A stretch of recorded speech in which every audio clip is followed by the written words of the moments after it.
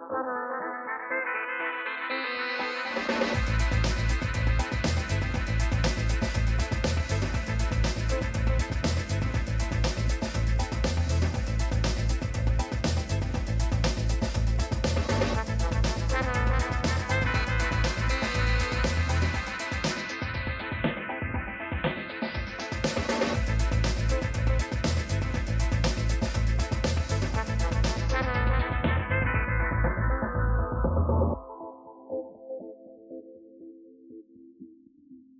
Várszegi Gyula vagyok, közlekedésmérnök, 75 éve a közlekedési szakmában.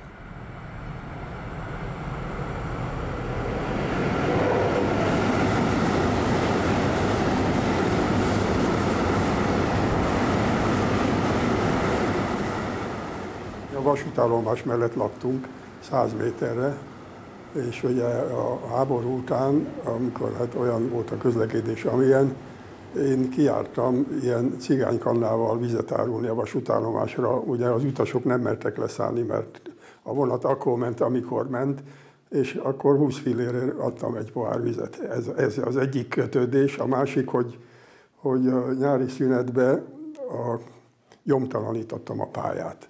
Ugye a 20 filléres óra bérér. Tehát ilyen közlekedési kötődésem abszolút, abszolút nem volt már a kis gyerekkoromban de az úttörővasút volt az első, ugye az 48-ban az első között voltam, az első két tanfolyam, két tanfolyam indult.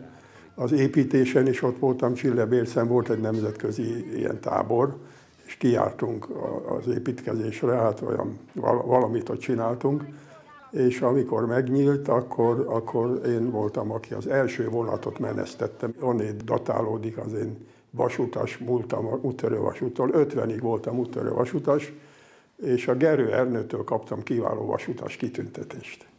Az mindenképpen egy hasznos dolog volt, hogy az alapfogalmakat, tehát az alapismereteket, azt ott tudtam. Tehát ez az első három állomás működött az átadásnál, és minden állomás más technikával lett felszerelve. Tehát más volt a biztosító berendezés, a váltórendszer, és ezt abban az időben ugye kénytelen, kelletlen megtanítom, azon kívül minden beosztáson végig kellett menni. Tehát a jegyvizsgálótól kezdve a váltókezelő, a forgalmistán, aztán nekem ez nem volt érdekes utána 40 évig. Ha van olyan ember Magyarországon, akiről teljes biztossággal kijelenthető, hogy közlekedési szakember, akkor Várszegi Gyuláról biztosan.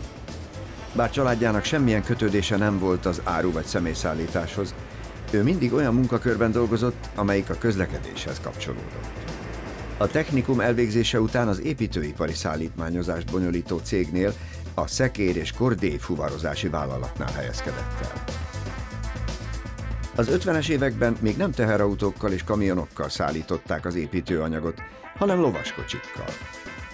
Ez az építőiparnak volt egy speciális cége, ugye egész Dunántél és Budapest tartozott hozzá, 2000 ló volt ott, és 2000 ember.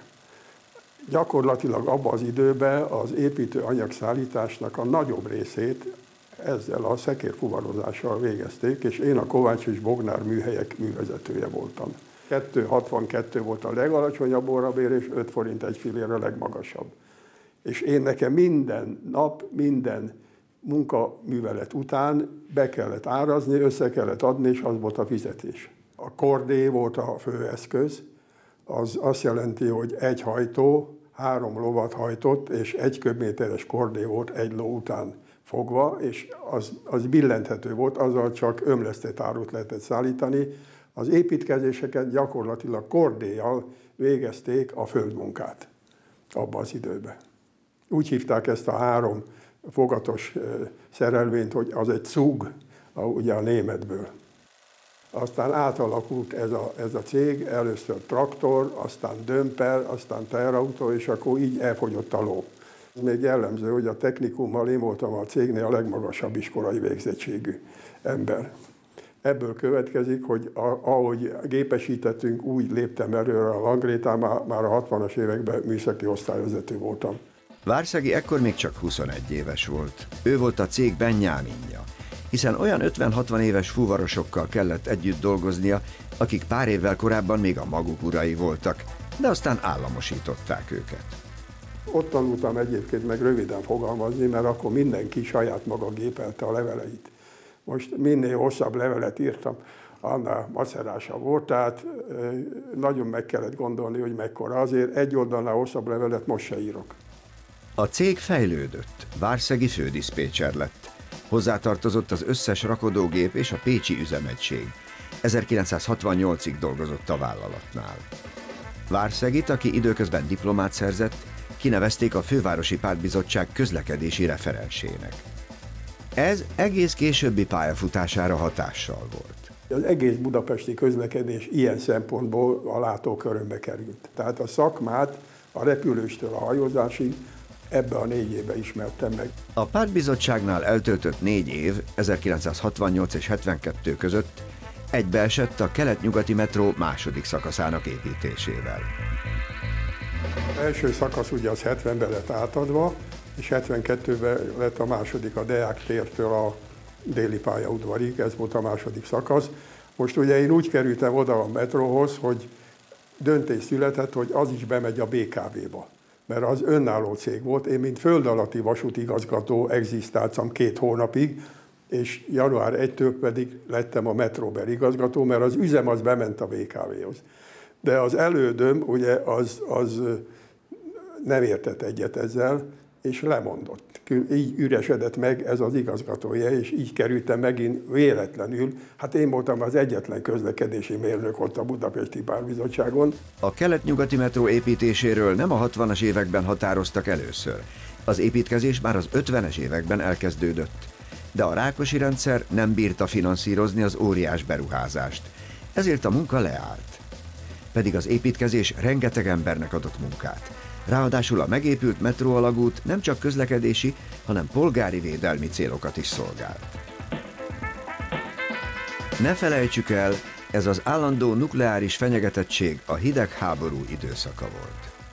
Ugye személyautóforgalom nem volt, a, a, az 50-es évekig nem volt magánszeélyautó, összesen 700 embernek volt személyautója, privát személyautója.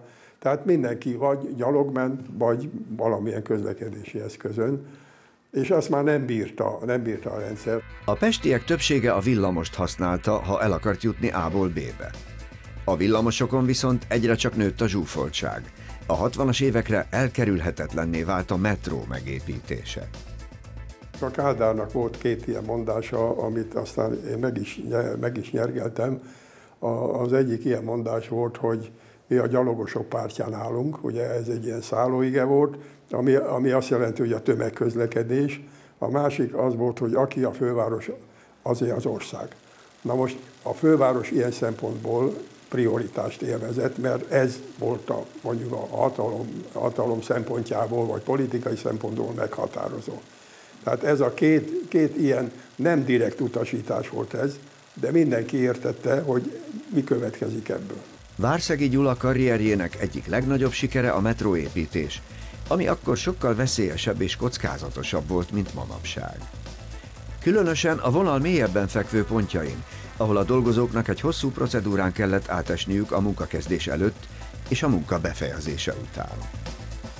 Be kellett ülni egy tartályba, ami fokozatosan emelték a légnyomást, kezdetben két atmoszféra volt ez a túlnyomás, ami azt jelenti, hogy mint a 20 méterre lent lenne a búvár, később egy atmoszférára.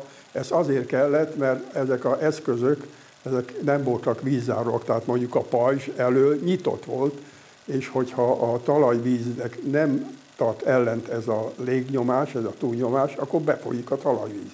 Tehát ez volt a megoldás, hogy egy túlnyomást kellett létrehozni, ami azzal is járt, hogy ott nem volt rendes szellőzés, párás, szóval embertelen körülmények között épült, ezt lehet mondani. Nem csak a különleges technológia nehezítette a munkát. A pénzügyi háttér sem volt olyan biztos, mint ma, amikor banki hitelekből finanszírozzák a nagy beruházásokat. A metró vonatvezetési rendszerének értékét elegendő devizahíján például a mezőgazdaságban használt műtrágyával fizette ki az ország a franciáknak. Nekem nem volt kereskedelmi jogom, volt egy külker cég, akit szintén meg kellett fűzni, a, a, ugye ott a franciákkal ezt le kellett boltolni. Hát mondjuk ez ilyen kuriózum, egy pár, egy pár ilyen technikai dolgot így sikerült megszerezni, de mondjuk ez a legeklatánsabb, ez az automatikus valtvezetési rendszer. Az úgy volt, ugye, hogy 70-ben adták át az első szakaszt az ősvezér tér, Deák tér között. Ez annyiba kötődök, hogy akkor a Budapesti Párbizottságon hozzám tartott a metroépítés, tehát mondjuk egy kis túlzással volt hozzá közöm, mert akármilyen balhé volt az építkezés kapcsán, az oda fölkerült. A következő eh, szakasz, ugye a, a, a Deák tér és a déli pályaudvari szakasz, az, az átadása előtt mentem én oda két hónappal, tehát a legkritikusabb időszakban, az átadás előtti két hónapban voltam ott, és akkor kaptam olyan látogatásokat, mint a Brezsnyev, meg a Kádár. Leonid Brezsnyev szovjet pártfőtitkárnál és Kádár János magyar első titkárnál fontosabb utasai nem lehettek a metrónak.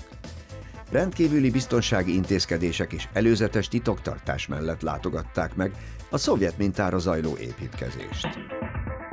Reggel szóltak, hogy 11-kor lejön a Brezsnyev a Kádárral a, a Kossuth térre.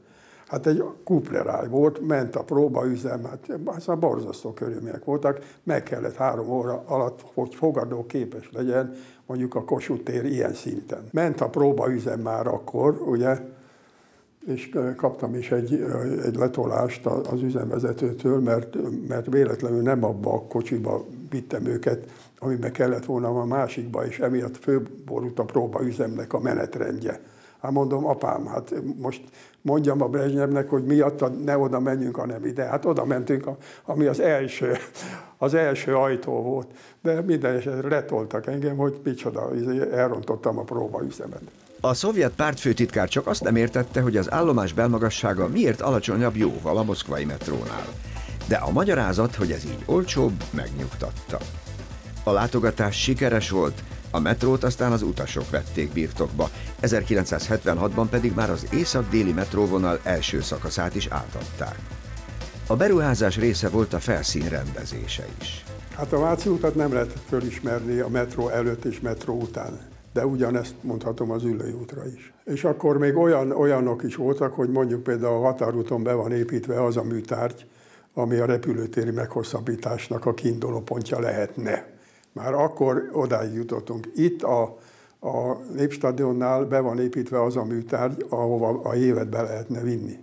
Tehát nem kell fölbontani, és a hév oda be tudna menni. A Metróber ezekben az években nem csak a metróépítéssel foglalkozott. Több közúti nagy beruházást is a vállalat bonyolított le. Például az Árpád híd kiszélesítését, a Flórián téri felüljárók megépítésével együtt. Ekkor épülnek meg a nyugati téri és a baros téri felüljárók, és nyeri el mai formáját például a Szentendrei vagy a Soroksári út. Várszegi Gyulának nagy volt a felelőssége, de megbirkózott a feladattal. 1985-ig volt a Metróber igazgatója. Nekem van erre a vezetésre egy saját, nem én találtam ki, a, a kivételes beavatkozás elve. Én a rutinnal nem foglalkoztam, hanem a jövővel, meg a, a extrém esetekkel. Tehát a napi dolog az elintéződött, mindenkinek megvolt, az nagyon fontos volt, meg volt a kompetenciája, meg volt a hatásköre. Én nem szóltam bele, hogy átveszi a műszaki vezető, vagy a műszaki ellenőr, vagy nem. Az, az ő dolga volt, és az ő felelőssége. Tehát van egy ilyen, hogy, hogy mondjam, úgy mondják, egy konzisztens rendszer, hogy hatáskör, felelősség, kompetencia. Ezt, ezt tartottam. Most, ha rendkívüli esetek voltak, vagy nagy horderejű, akkor azzal foglalkoztam én. Tehát ez, ez, ez egy vezetési elv, amit azóta is tartok. Sokan nem szeretik, mert sok nem szereti a, egyrészt egy csomó főnök, mert ő szeret mindig mindenben a legokosabb lenni, ami egy marhaság ugye, meg azt hiszi, hogy ha ő dönt, akkor ő attól nagyobb lesz. Hát ez, ez, ez egy félreértés. Ez egy, ez egy jó elv, ami, ami hogy mondjam, a, a döntésnek egyfajta hierarchiáját jelenti. Tehát nem kell mindent a legmagasabb szinten eldönteni. Begyűrözött a nemzetközi válság, és elvették a metrópénzt 85 körül mert az észak-déli metrót Káposztás megyeré kellett volna megépíteni. Hát akkor én mit fogok csinálni a metróbernél, ha nem építünk metrót? Ezért is jöttem el a Metrovertről. Tehát ez volt egy szempont, amikor engedtem a csábításnak, hogy átmegyek a MÁV-hoz. Várszegi Gyula először műszaki vezérigazgató helyettese, majd vezérigazgatója lett az ország egyik legnagyobb vállalatának. 130 ezer vasutasnak lett ő a főnöke. Ami azért mondjuk nem okozott nagy megrázkodtatást, mert műszaki szempontból a metró és a MÁV között olyan nagy különbség nincs, csak méretbe. Hát annyi különbség van, hogy ugye a metrónál nincs áruszállítás, meg a metrotechnika azért egy nagyságrendel korszerű volt, mint a vasúti technika. De hát ez nem, ez nem, nem, volt, nem volt probléma, úgyhogy én szívesen, szívesen mentem oda. A MÁV-val az államszocializmus utolsó éveiben nagyon sok volt a rendszer szintű probléma. A teherszállítás átlagsebessége például 3 km per óra volt, ami a szerelvények napokig tartó veszteglése, illetve lassú haladása miatt jött ki. A magyar államvasutak nem úgy működött, mint egy szolgáltató cég, amelyik törekszik a legjobbat biztosítani, hanem mint egy szocialista nagyvállalat, aminek működésével csak egy célja van, önmaga életben tartása. Aztán a MÁV, mint, mint ilyen politikailag frekventált hely, direkt politikai irányítás kapott, ami azt jelenti, hogy a MÁV-nál volt politikai osztály. Közvetlenül a Központi Bizottságon keresztül történt a MÁV irányítása. Most ez okozott egy olyan torzulást a szemléletbe, hogy azt gondolta ott mindenki, hogy kis túlzással a váltókezelőig, hogy ő egy hatalmi pozíciót tölt be. Tehát szívességet tesz a MÁV, hogyha fölveszi az árut. Ugye ilyen, hogy egy kicsit el, eltúlzom, de ez volt a szemlélet. Amit erősített az, hogy a MÁV vezérigazgató egybe a vasúti főosztály vezetője volt. Tehát hatóság is volt, tehát magát ellenőrizte, meg végrehajtó is volt. Tehát ezek ilyen abszurd vezetés elméletileg abszurd dolgok, de ez tudatosult egész a, mondom, a állomás főnökig, aki szívességet vett, hogyha, hogyha mondjuk a utas kedvébe járt volna. Olyat vezettem be például, hogy ha késik a vonat, vissza kell fizetni a jegyárának egy bizonyos százalékát. Ezt én vezettem be akkor. Hát olyan, olyan pár tizét kaptam emiatt, hogy hogy képzelem én, hogy a nép vagyonát herdálom, hogy visszaadjuk a pénzt. Hát nem teljesítettük. Tehát ezek ilyen, ilyen eszmeinek látszó konfliktusok voltak, vagy mit tudom én, a munkásszállás, és a hétvégén nincs senki. Én azt mondtam, hogy hétvégén legyen turista szállás a munkásszállás. Abból bevételünk. Hát, ugye, hát ez macerával jár, mert lepedőt kell cserélni. Ellenállás. Ugye, és annyira halmozódott ez a, ez a ez, hogy a végén, végén hát mondjuk elutáltak egy kis túlzással, ezt lehet mondani. Próbálta elérni, hogy a vezetők menedzser szemlélettel hozzák meg döntéseiket, és azokért vállalják is a felelősséget. A Mamut cég átvilágításával és racionalizálásával olyan lépéseket tett, amik egyes vasutasok érdekeit sértették.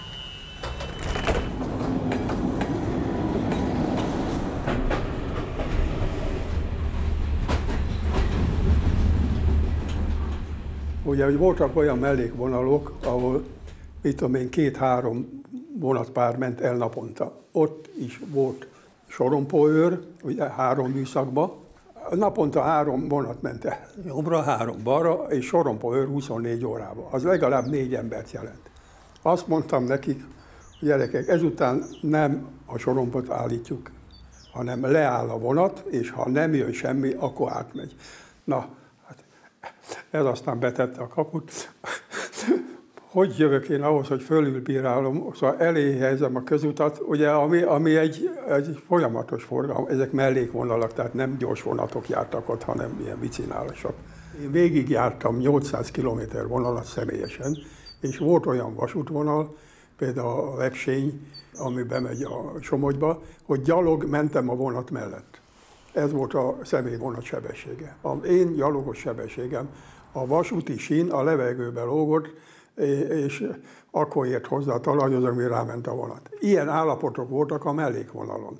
Most vagy megcsináljuk, miből, ugye egyrészt, másrészt értelmetlen, mert minimális az igénybevétel, vagy pedig bezárjuk, és azt mondjuk, hogy tessék ezt közúton lebonyolítani. De ezzel a bezárással törököt fogtam megint, majdnem mindenkivel megegyeztem, a tanácselnökökkel, megyei titkárokkal, nem, nem, nem ment keresztül kormány szinten. Később aztán több mellékvonalat is bezártak, de Várszegi Gyula 89-ben szakított a vasúttal. Sosem fogadták be, mindig is outsiderként tekintettek rá az mindig egy külön világ volt. Mindig, igen. Igyekeztek is magukat. Így, hát ugye én kívülről jöttem, az, az is még egy eredendő bűn. Ugye az nem, nem érdekes. Én hiába mondtam, hogy a német vasút elnöke az egy informatikus, a kanadai vasút az egy orvos, tehát nem szükségszerű, hogy vasutas legyen, de itt ez volt a gyakorlat végig. A hosszú ideig ugye a MÁV vezérigazgató az, az aspiráns volt a miniszterre, mert minden már igazgatóból miniszter lett kivéve engem. Ami hát egy, mondjuk az is egy motiváció volt, hogy én egy jelentettem ilyen szempontból a miniszternek, mert jól ment a MÁV. Az én időmben volt nyereséges a MÁV egyedül. 600 millió nyereség volt a MÁV-nál. Igen. Ennek ellenére a MÁV-tól közös megegyezéssel távozott a vezérigazgató, és visszament ahhoz a céghez, amelyiknél kezdte karrierjét 1954-ben. Az építőipari fuvarokat bonyolító Épfunál vezérigazgató helyettes lett. A cég akkorra tízezres vállalattá nőtte ki magát. Vasúton és közúton szállítottak építőanyagot az állami beruházáshoz. Hát ez egész addig tartott, míg elkezdődött a vad privatizáció. Én nem akartam ezt csinálni, ezt a, ezt a szétbontást, de az üzemi, úgy hívták akkor, hogy volt üzemi tanács, az üzemi tanács kompetenciája volt, hogy ebben leszavaztak. Másnap lemondtam és kiléptem. És széthorták a céget, 10-20 autónként, mindenki kiprivatizált valami kis telephelyet, amíg az autó működött, addig ment, utána kész bezárták. Úgyhogy felszívódott ez a tízezeres vállalat, mint ahogy sok más cég, eltűnt. Egy öt éven belül eltűnt. Egy-két ügyesebb ember maradt, aki talált olyan piaci részt, hogy, hogy tovább tudott, mit tudom én, kamionozott, meg szóval profilt váltott, és, és tovább egzisztál, még talán most is. De a zöme, az kész, fölélték az eszközöket, és bezárták a boltot. Várszegi a 90-es években pénzszállító céget alapított, amit aztán eladott és visszatért a közösségi közlekedési szektorba. Műszaki igazgató volt a Ganznál, amelyik a 90-es évekre kifejlesztette egy magyar metrókocsit. Arra egy évtizeddel korábban még Várszegi adott utasítást, mint a metróépítő Metróber vezetője. A szerelvényt 70 ezer kilométeren át tesztelték, utasok is kipróbálhatták, de nem válthatta le a szovjet kocsikat. A KGST-ben a metrókocsi az a Szovjetunióra volt testálva, egyrészt, másrészt fele áron adták, mind amennyibe ez került volna. Úgyhogy a tervhivatal azt mondta, hogy nem kell, nincs erre pénz. Tehát ennek egy ilyen egyszerű magyarázata van. Semmi műszaki olyan probléma nem merült föl, amiért ezt nem lehetne. Ez még most is megfelelne a korszerűség követelményeinek. A Ganz után a Városházán lett tanácsadó, a főpolgármester mellett. Majd visszatért egy korábbi munkahelyére a Metróberhez. Ilyenekkel foglalkoztam, mint vasúti alagút a Kelenföld nyugati között, ötös metró nyomvonala, ugye Szentendrei év bekötése az ötös, a, a hármas metróba, repülőtéri metró, Káposztás megyér meghosszabbítás. Ez, ezt, a, ezt a négy témát dolgoztam ki abban az időszakban. Most kezd beérni. Most kezd beérni. 2011-ben a BKV vezérigazgatójának nevezték ki, majd a BKV tulajdonában lévő vasúti járműjavító műszaki igazgatója lett.